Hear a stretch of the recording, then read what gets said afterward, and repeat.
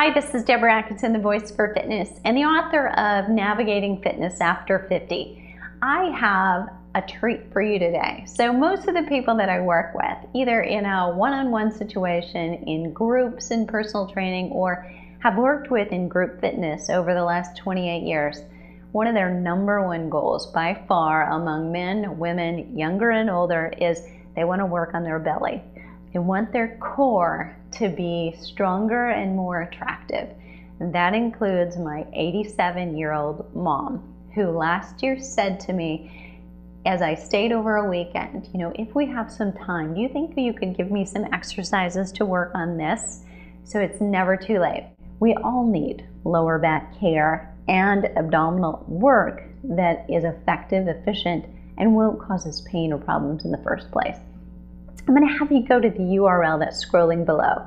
If you get on that list, I'll send you three videos. We're going to go through a very progressive, simple start to what should you be doing, what exercises would come first naturally, when do I know that I can progress, what comes next, and I'm not going to give you a whole bunch of exercises to do. I'm going to give you one or two things first, then I'm going to give you a couple more and then I'm going to give you a couple more.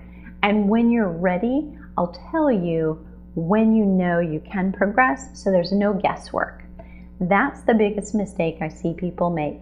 They'll try this and then they'll try that, and then they'll try this, and then it either doesn't work or they get some pain, but they don't know what thing caused it because they've tried so much.